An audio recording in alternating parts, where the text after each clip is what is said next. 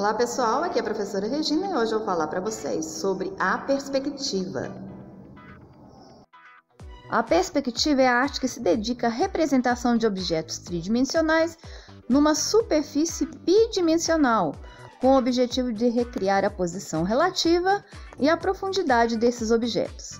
A finalidade da perspectiva é reproduzir a forma e as disposições dos objetos de acordo com o que se apresentam aos olhos do observador. Na pintura no desenho, os elementos da perspectiva são os pontos de fuga, que são pontos sobre a linha do horizonte, podendo ser um, dois ou até mesmo três, dependendo do ponto de vista do observador. As linhas de fuga, que vão em direção ao ponto de fuga, e a linha do horizonte, que determina a linha de visão do olho.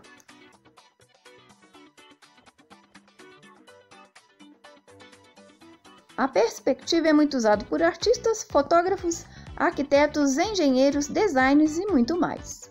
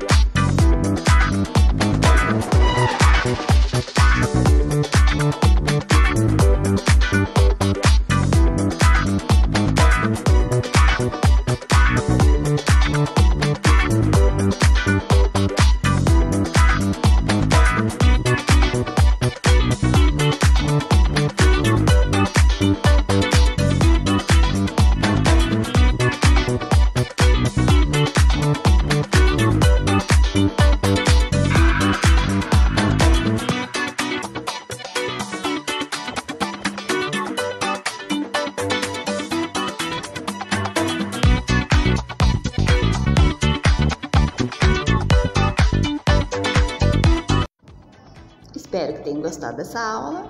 Até a próxima, pessoal. Tchau, tchau.